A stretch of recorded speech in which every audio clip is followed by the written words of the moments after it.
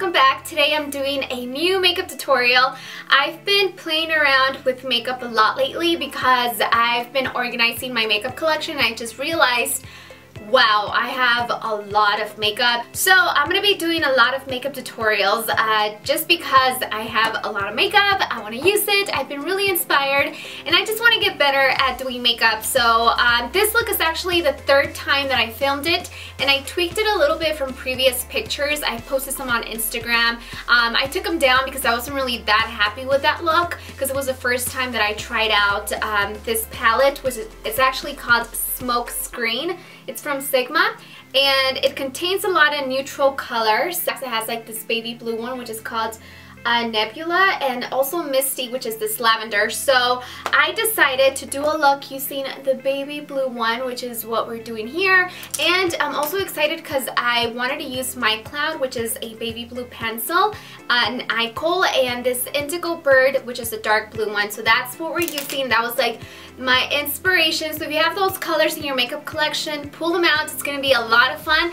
And of course it's gonna be like a full beat face look. So it's like glammed out out, something you just want to go all out and just have a lot of fun. Because makeup is all about just having fun. And uh, some of the pictures do look a little bit different because um, I was wearing a white eyeliner at first, wasn't really feeling the white so I ended up switching it to black um, and it looks a lot better. So it's all about practice and just tweaking it. And uh, yeah I hope you guys enjoyed it. And let's get started. Alright, so I'm going to begin by taking the Too Faced Shadow Insurance and priming my top eyelid and bottom lash line since we aren't going to have color all around. And then next I'm going to take this Dip Brow Pomade. Um, I believe it's an Auburn. It's from Anastasia Beverly Hills. And the brush is also from the same brand and I'm just going to use this to fill in my eyebrows. and You're going to see the dramatic before and after. This product is really creamy and really easy to work with but sometimes it kind of I get a little carried away and my eyebrows look really really thick so I'm just to use concealer to clean them up and make them look as symmetrical as possible.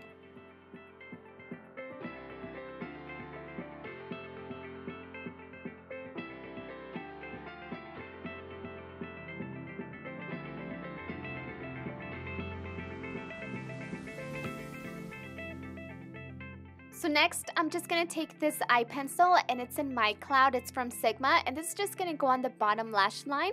And then once you do that, you can just set that eye pencil with Nebula, which is the baby blue eyeshadow from the Smokescreen palette and just sort of blend those colors together.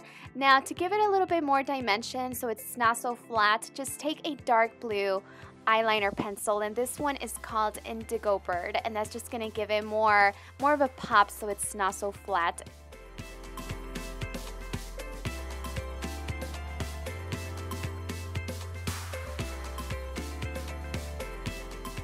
And then next just take a black eyeliner and tight line and also line your waterline. And next we're going to go into Thunderhead and this is just a soft brown um, eyeshadow color that's going to go onto the crease and also extend it past the brow bone. This is going to be sort of like a transitional color also. And then you can take sort of like this gunmetal gray, this one is called Cinders, and I'm just taking a flat shader brush and patting that color on my entire eyelid.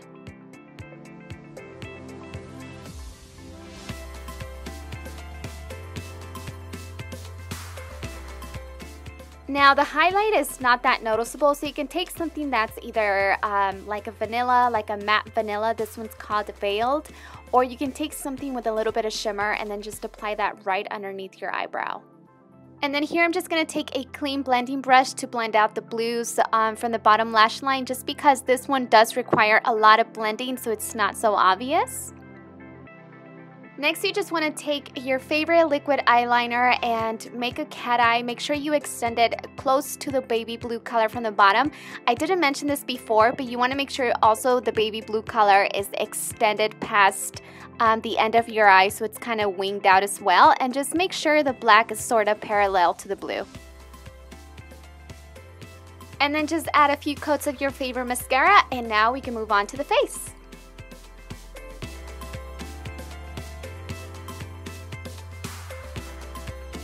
Now we're going to move on to the face. Um, I'm going to start off by just taking the Miracle Blur and this is just to kind of even out my skin surface and it's sort of like this face primer. It just makes your foundation go on a lot more smoothly and it looks a lot better. So I'm just going to put this around my nose and then just spread it out like this. I also put on my lashes, which are 415 Black from Ardell. Um, and they're just like really small lashes in the inner corners and then they just flare out so they look really natural, you know? Uh, next, I'm just going to take my, uh, what, what is this? Maybelline Super Stay Makeup 24 hour wear non-transfer um, and I am in the color True Beige and I'm just going to, I'm actually almost out of it I really like it. First, and I'm also going to take some luminizer from um, Forever 21. This is the 24K, and I'm just going to put some in the back of my hand. And then I'm going to take this brush called Define Buffer. I'm so obsessed with this brush right now for foundation. It's from Zoeva, and I'm going to work my foundation and the luminizer together onto my skin.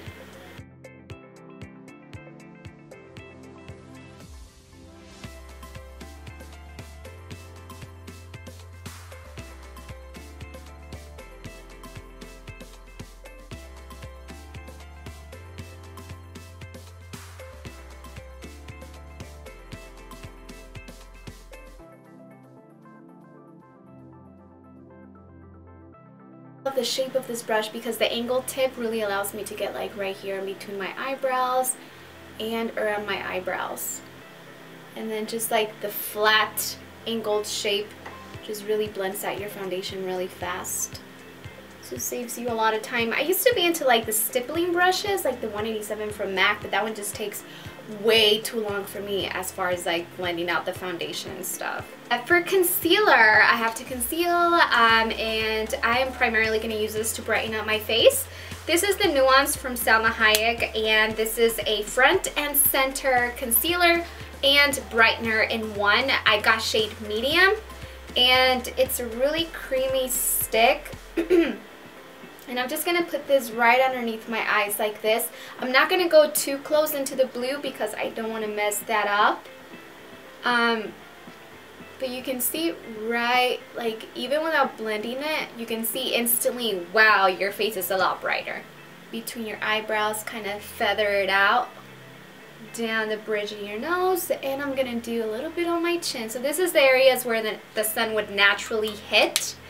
Um, so it's going to reflect light and you're just going to look more bright and awake. I really recommend that you guys get some of these little latex free wedges because I've been using them to blend everything out as far as concealer.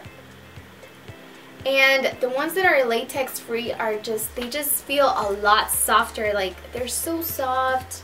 The ones that are not latex free, you can feel the difference. I've had those before. Anyways, I love these because I could just blend out my concealer really fast. That's if you don't want to invest in like the Beauty Blender. I mean, the Beauty Blender is amazing, but this works just as well. I'm going to take this one, uh, Expert Face Brush, which is also another great foundation brush. This is from Samantha, by Samantha Chapman, right? Yeah, Real Techniques. I'm just going to use this to make sure it's well blended out in this area here. so now you have the light. Um, next I'm going to take the Cameo Luxury Powder from Ben Nye. Um, I love this one. I actually really love the banana powder as well, which is a little bit yellow. This one is more of a cream color. It's sort of pinkish, but it's not like the pink powder they have. I'm going to take this brush, which is a Luxe Highlight, and I'm going to take whatever's on the lid first. And this is going to be padded right underneath the eye where I have the concealer. And here. And then whatever's left, I'm just going to, you know, work that into the rest of my face. Okay, so next I'm going to take the contour kit from Anastasia Beverly Hills and it contains just a variety of different colors. uh, highlights, setting powders, bronzers. I like to use this middle color, which is um, a great color for medium complexions. And I'm just going to take this uh, Zoeva Luxe Sheer Cheek Brush. It's just an angled brush. And I'm going to take that color. And I'm going to work it upwards. Like that. Mm hmm I love makeup. I've been wearing a lot of makeup lately because I realized I have a lot and I don't want it to go to waste. Like I'm just using it up. And we're also going to work a little bit of uh, contour around the nose. My nose is still swollen from the surgery. That's why like when I turn, this is like really circular. And I, I know a lot of you ask me like, is this supposed to be circular? Uh, no, it's not. I have rhinoplasty you get a nose job. That's, it just takes forever to heal up to two years for you to actually see full results. So the one issue, like when I first got my cast off, my nose was so small because it, you know, the cast didn't allow it to swell up. But now that my cast has been off, and it's only been four months, guys, so I still have like at least a year until I'm st I start to see how it's really gonna look. So uh, yeah, this is really circular. Um, so I like to just contour the tip a little bit and I just bring this color like, you know, I make it look like this instead of a circle. It's just an illusion with the powder that you can do if you have a wider nose and maybe you want to make it look a little bit slimmer. It all depends, you know. That's why magic or makeup is like magic because you can just transform your face. It's fun. It's a lot of fun. Okay, so there you have that. And I'm going to take this brush, which is actually a face paint brush. Um, I love that it's like flat from the top and this would be great for contour. But I'm just going to take this without any product and just drag it along the sides of that contour color around my nose and just kind of make sure that it's well blended so it's not visible. And then we're going to do highlight. I'm going to go back with this uh, Luxe highlight brush and I think I'm going to go in to this one here, which has shimmer. This is kind of like banana from Ben Nye, banana powder. And this is to go, ooh, this is pretty. It's highly pigmented as well, so be careful because I overdid it. I'm just to wipe off my brush with a little bit. Work that highlight all the way up. Okay, and then we're to do the lips. For the lips, I am to do a neutral lip because we have blue going on. And I have two lipsticks. Let me see which one I want to use. These are both from Maybelline and they're from like the a nude collection. I forgot what it's called. But I think I'm to go with... Hmm, yeah, this is too light for me. I'm actually to go with uh, a Truffle Tease which is more of a brown, brownish nude. The other one was too nude for me.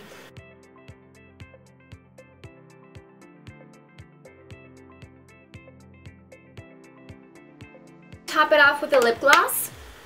This one is Get Ready Lip Gloss from Sigma and it's uh, called Get Ready. And I like that this one has like gold flecks, like gold shimmer. Do you guys grow a lot of moles? I've been growing so many moles. I grow one right here, another in my lip.